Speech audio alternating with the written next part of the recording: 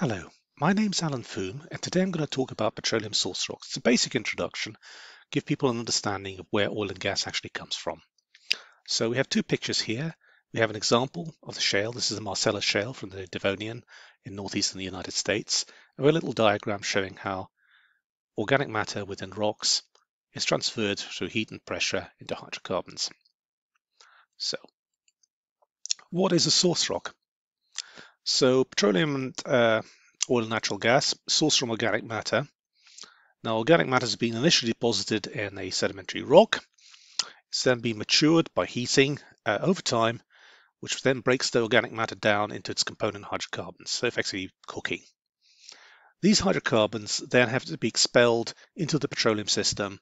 They eventually will get trapped to form oil fields, and most of them, however, will escape. So source rock rock containing the organic matter. So source rock, shale, mudstone, sometimes limestone, organic matter, oil. So this is a petroleum system a diagram shows that. And what we're looking at is this part here, which is the source rock. Hydrocarbons are then cooked. They then migrate upwards because they're buoyant relative to water and then get trapped. But that will be subjects of uh, future videos. So we're concentrating on the source rock. So how does this fit into everything altogether?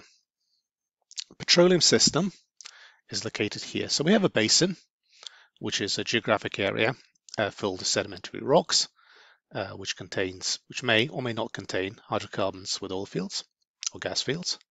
Then we have a petroleum system, and most petroleum systems are focused on the source rock, so this is what we're focusing on. Beyond that are petroleum plays. They tend to be focused on the reservoir.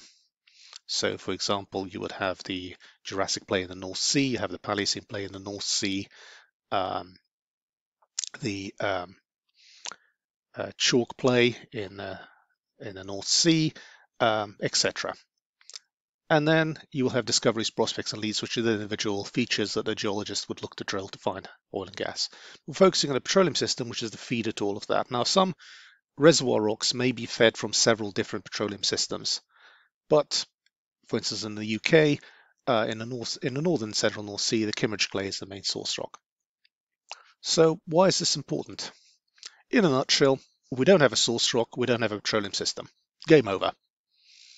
And the lack of source rock and migration are main uh, causes of dry holes in frontier basins. Some of these dry holes are expensive. We're talking tens of millions up to $100 million a well. A lot of money. And when you have a 1 in 10 chance of it working, kind of scary. However, when it does work, it more than makes up for the failures. So this is a paper by uh, Randolph Goulding and the American Association of Petroleum Geologists. And why do wells fail? So seal, which is the cap rock to keep the hydrocarbons in the trap. Then you have the reservoir, the holder of the hydrocarbons. And then you have the charge, which is the petroleum system. Now mature areas tends to be the seal that fails the most. I've got a video on seals on my YouTube channel. Please have a look at that. Then you have the reservoir, which kind of fails um, some of the time. Reservoir tends to be where geologists tend to focus their attention uh, because the, you know sedimentologists tend to like looking at those particular rocks. They tend to be more interesting. But the source rock is the main question. Now, in mature areas, the source rock's kind of taken care of, although local charge is a bit of an issue. In extending plays, well, how far does a source rock extend? But in a new play, we really don't know. So this is something which we need to look at when we look at, uh, at the beginning. But people who have been working in mature plays tend to take it for granted. Maybe they shouldn't. So how are source rocks created? Basically, it's nicknamed, oil is nicknamed dinosaur juice, and that's basically what it is. Well, not dinosaurs, more smaller creatures than that. Uh, now, the organic matter remains of dead plants, dead animals, uh, falls down and gets deposited with other rocks. You tend to look for mud rocks, shales, and coals. I'll mainly be focusing on mud rocks and shales. Coals are a little bit different. And they tend to be deposited in the deeper parts of sedimentary basins, deep seas, lakes, swamps. What you really need is to protect the organic matter from being oxidized. So either rapid burial or anoxic stagnant water and that would help preserve the hydrocarbons. Next question you got to ask is, how rich is your source rock? And this is measured by something called total organic content. So that's the portion of the rock uh, by weight, which is made up of organic matter. And generally, the more, the better. Exceptional source rocks, such as the aforementioned Kimmeridge Clay from the North Sea, can have total organic content of up to 15%. That's kind of rare. You know, mostly good ones tend to be between the 2 5%. Uh, somewhat less than that tends to be uh, tends to be less good. Uh, what you really need is as good as possible. And one way of uh, determining that very quickly, uh, apart from all the geochemical analysis, which I'll talk about a little bit about in a minute, is the high rich source, high TOC rich source rocks tend to have very high gamma ray values due to the high uranium content. So a big spike on the gamma ray, you know, up to over 150 units. Okay, so how is it all deposited and what does it all come from? Now, the precursor to hydrocarbons is something called kerogen. It's the organic matter within the source rocks. And there are four basic types of kerogen. So type 1, also known as alginite or sapropelic kerogen, it's a type of kerogen derived from algae. It tends to be deposited in lakes, um, sometimes stagnant seas, and it tends to be oil prone.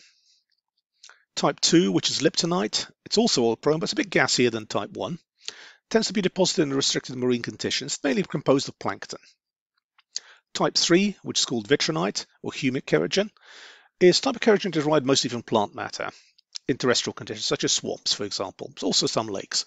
And this kerogen type also includes coals. It tends to be more gas prone, but it does produce some liquid hydrocarbons. And oils that have some vitrinite as part of the source rock tend to have higher wax contents, which is a bit of a problem when you're trying to uh, produce it because it clogs up the pipes. And type 4 inertinite is spent reworked oxidized material which has limited generation or none, no generation potential, so we will just put that to one side. And this was all put together in something called a Van Krevelen diagram. Type 1, type 2, type 3. So on the y-axis we have the hydrogen-carbon atomic ratio, so basically longer chain alkanes, and an oxygen carbon atomic ratio. And as you heat the um, oil and gas, you will end up going towards this corner here with low OC, low HC. Effectively, you'll end up with graphite eventually. Um, but you can see that they have slightly different paths.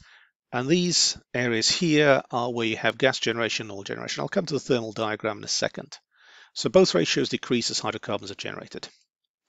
So this is thermal maturity. So as you bury rocks, you heat them up. And with heat, over a certain um, distance, you come into the oil window where the oils are driven off from the source rock. And then later you go into the wet gas window, which is when slightly uh, lighter um, hydrocarbons, uh, gases such as pentane, ethane, butane, etc., are driven off, and eventually you get dry gas or methane, and eventually you'll end up with graphite. So diagenesis, catagenesis, metagenesis. And these numbers for RO is the vitrinite reflectance. Now, vitrinite's a shiny organic molecule derived from plant matter.